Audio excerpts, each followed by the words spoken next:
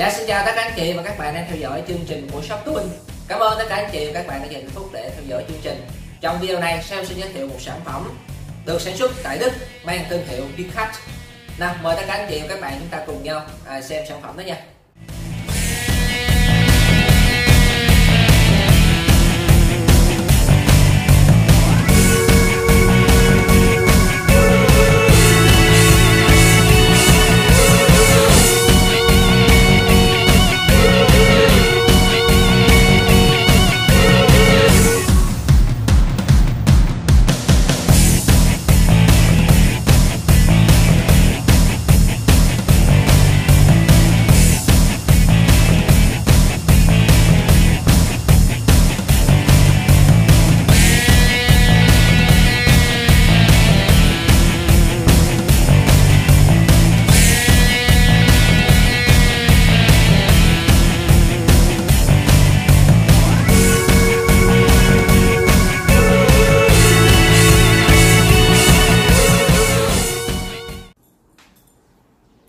Sản phẩm thứ bảy trong dòng sản phẩm của hãng Picard được sản xuất tại Đức. Xin thưa với anh chị lại là một cây búa rèn nặng một ký.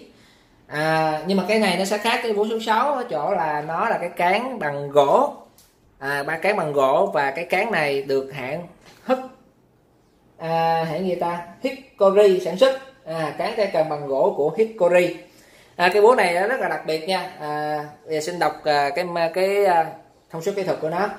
Mã số 00 40 312 1000 tức là nặng 1 kg tổng trọng lượng của nó là 1 kg tổng chiều dài là 260 mm mặt đóng phẳng bằng hình vuông được bát cạnh rất đẹp. À, đầu búa được mạ đen để hạn chế dỉ xét và cái thép của nó chính là cái thép alloy.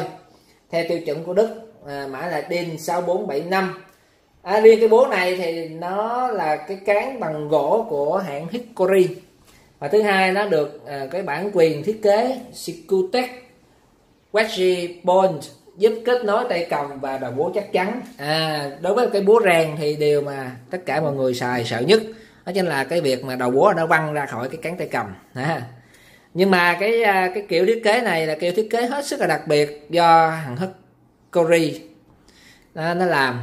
Và cái cái cái bản quyền là cái bản quyền về công nghệ chống à, bay công nghệ an toàn trong việc sản xuất cái búa rèn này. Thì đây là cái búa nó được chứng nhận luôn rồi mình cho anh chị chúng ta cùng nhau xem cây búa này. Thì đang được bán với giá là 880 ngàn chưa bao gồm phí vận chuyển.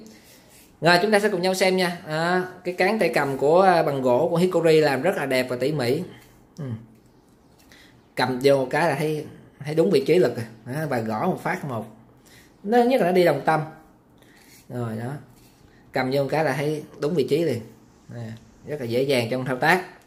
Rồi thứ hai là trọng lực nó dồn hết phía trên và đi rất là thẳng xuống dưới rồi cái thép này là thép à, búa được à, làm bằng thép alloy à, bằng cán bằng gỗ của Hickory. Và đặc biệt là cái này nó sẽ rất là an toàn cho việc sử dụng lâu dài bởi vì nó là cái bản quyền về cái thiết kế à, giữa cán tay cầm và cái thân búa rồi.